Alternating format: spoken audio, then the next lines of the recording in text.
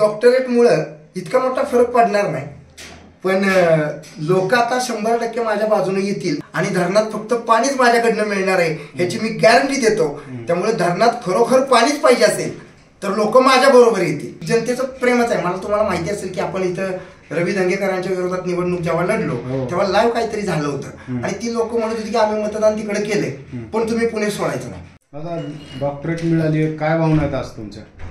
आनंदाचा क्षण आहे. कष्ट करतो आपण. डॉक्टरेट मिळावे म्हणून अनेक प्रकारची लोक कष्ट करत असतात विविध क्षेत्रांमध्ये. आपलं क्षेत्र तर तुम्हाला माहिती आहे कला क्षेत्रामध्ये. आणि तेवीस मे एकोणीसशे शहाण्णवपासून जो क्षितिज नावाचा जो बालकविता संग्रह प्रकाशित करून एकविसाव्या वर्षी मी काही सुरुवात केली. कविमानाचे नेते म्हणून खूप निवडणुका लढल्या. सामाजिक कार्यामध्ये साताऱ्यामध्ये जाऊन तुम्ही विचारू शकता माझ्या गल्लीपासून दिल्लीपर्यंत. मला शक्य होतं तेवढं मी सामाजिक कार्य करत होतो. आणि बिग बॉस मराठीच्या माध्यमातून जो काही मी ठसा उमटवला त्यानं मला हिंदी बिग बॉस मिळाला. आणि हिंदी बिग बॉसच्या संपूर्ण तुम्ही एपिसोड्स पाहिले असतील तिथंही मी माझा ठसा उमटवून आलो.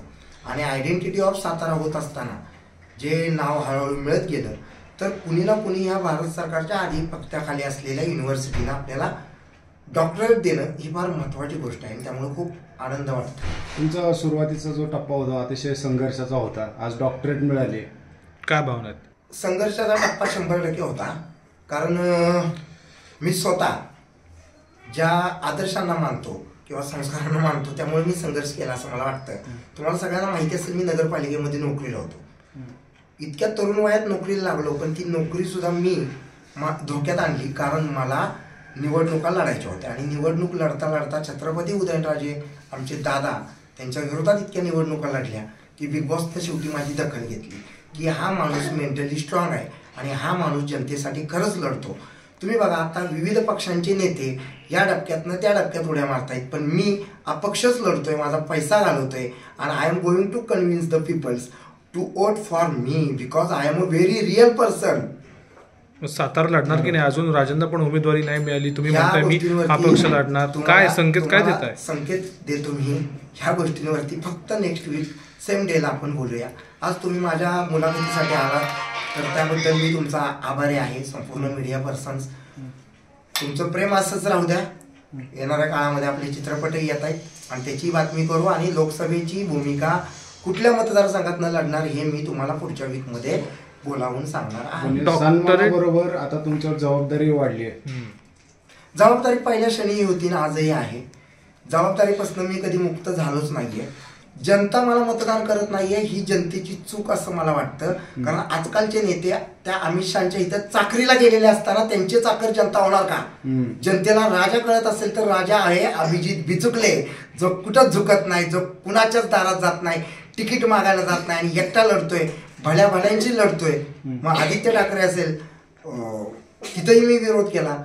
आणि त्यांच्या पाठीमागे जनता का जाते? काही लोक शिवाजी महाराजांचं नावच घेत नाहीत. तरी त्यांनाच मतदान होतं. अरे जय भवानी जय शिवाजी म्हटल्यानंतर त्या ठिकाणी आमच्यामध्ये ऊर्जा निर्माण होते. पण हे म्हणायला सुद्धा जे जे लोक लाजतात त्यांच्याबरोबर जनता जाते. तर चला आपण जनतेच्या कानाने हे राजकारण करू. शेवटी everything is fair in love and war and I am ready for the war of Lok Sabha twenty four तुम्ही डॉक्टर- झालात सगळं महाराष्ट्राची राजकीय स्थिती. बघून काय वाटतंय आता डॉक्टर की पेशातून बघताना? डॉक्टर की पेशातून बघण्यापेक्षा अभिजित बिचुकलेंच्या नजरेतनं बघितलं ना तर जनता ही आम्हाला मोठं करते. कलाकार असेल राजकीय नेता असेल सामाजिक कार्यकर्ता. सामाजिक कार्यकर्ता स्वतःच्या मनगटानं होतो जसा मी झालो.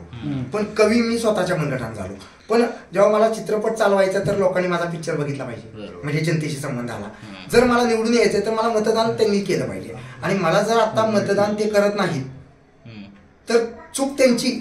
माझी चूक नाहीये. पण चांगली काय. तुमचा की तुम्हाला त्यांनी शोधलंच कसं काय? अभिजित बिचुकले यांना आपण डॉक्टरेट द्यायची आहे. नक्की काय? नाही हा- हा विषय. नाही हा विषय माझा नाहीये. कारण जसं मग तुम्ही माझ्या घरी आला. हम्म. तुम्ही सुद्धा मी साताऱ्यातून आलो इकडे आलो आपण एकमेकांना फोनाफोनी केली. आता आबी पोटे होता त्याने सांगितलं की मी इथं आहे. मग तुम्ही माझ्याकडे आला.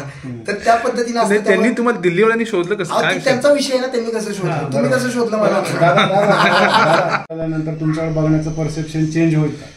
नाही परसेप्शन जनतेचं प्रेमच आहे. मला तुम्हाला माहिती असेल की आपण इथं रवी दंगेकरांच्या विरोधात निवडणूक जेव्हा लढलो हो. तेव्हा लाईव्ह काहीतरी झालं होतं. आणि ती लोक म्हणत होती की आम्ही मतदान तिकडे केले पण तुम्ही पुणे सोडायचं नाही. मग इतकं प्रेम आहे.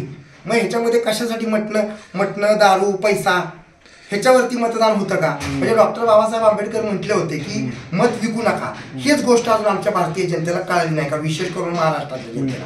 आणि मग इथले नेतेही विकाव झालेत ना.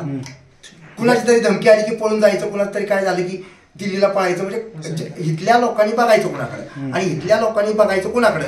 तर आजपासूनचे doctor Abhijit Bichukale is here to solve all the problems of the my peoples and my state कुठे लढणार हे मी बोलत नाही आता. पण अभिजित बिचुकले एक अतिशय चांगली व्यक्ती आहे. आणि त्याचे विजन त्याचे परसेप्शन्स त्यांची ध्येय धोरणं ही क्लिअर आहेत. मला असं वाटतं की डॉक्टरेटमुळं इतका मोठा फरक पडणार नाही.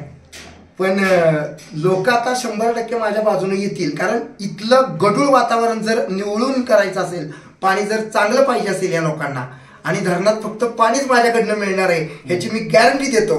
त्यामुळे धरणात खरोखर पाणीच पाहिजे असेल तर लोक माझ्या बरोबर येतील.